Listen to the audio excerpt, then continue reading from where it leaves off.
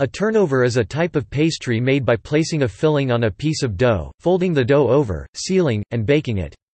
Turnovers can be sweet or savory and are often made as a sort of portable meal or dessert, similar to a sandwich. They are often had for breakfast.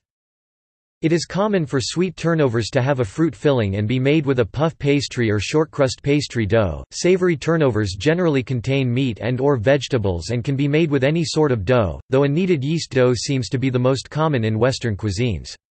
They are usually baked, but may be fried. Savory turnovers are often sold as convenience foods in supermarkets.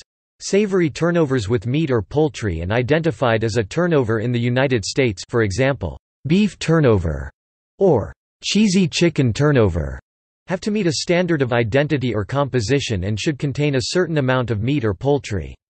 In Ireland, a turnover is a particular type of white bread, commonly found in Dublin.